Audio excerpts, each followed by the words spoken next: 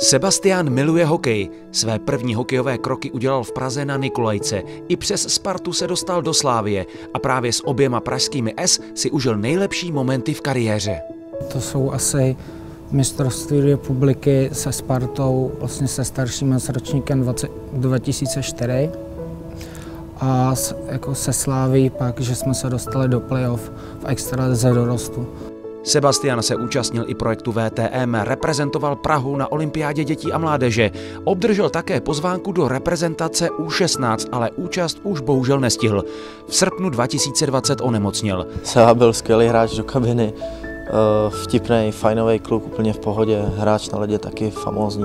Slibně rozjetou kariéru zastavil soupeř, na kterého není možné se připravit. Se Sláví v dorostu jsme hráli přípravný zápas a po tom zápase jsme šli do karantény, že někdo tam měl covid.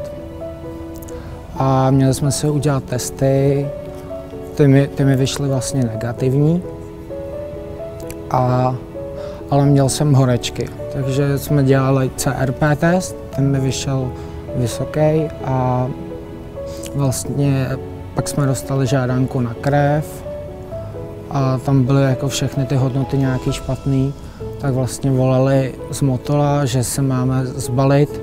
Jako zasáhlo nás to hodně, nečekali jsme to, ztratili jsme prostě kamaráda, parťáka, spoluhráče v kabině. Změnilo nám to celý rodině život, protože najednou se všechno točilo kolem sebe, já jsem přestala chodit do práce. Léčba chemoterapií byla dost náročná, naplánovaná byla na 6 měsíců.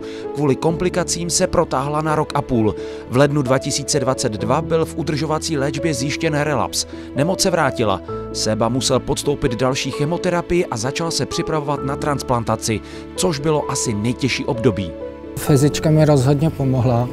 To tam hrálo jako velkou roli, že jsem vlastně to tělo bylo nějak tak jako silný a dlouho jsem se jako, neměl jsem tu rekonvalescenci tak dlouhou po těch chemoterapiích. Tam pomáhala ta disciplína, kdy on jasně měl řád při tom hokeji, prostě vstávání, jídelníček a všechno, protože vlastně ten práh bolesti díky tomu hokeji byl hodně posunutý u toho séby, takže vlastně když mu bylo zlé, tak vlastně on nikdy neřekl, že mu je zlé. V té hlavě to on je fakt silný a tomu pomohlo si myslím hlavně nejvíc a podpora samozřejmě rodiny a a taky trošku podpora nás, spoluhráčů a kamarádů.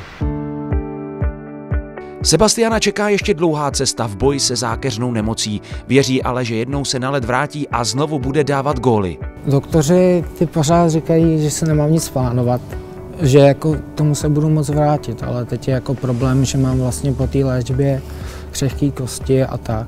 Takže já bych tomu tak řekl, že vlastně tak teď do září nějak tak plánuju, že bych měl jít do školy, v září nastoupit.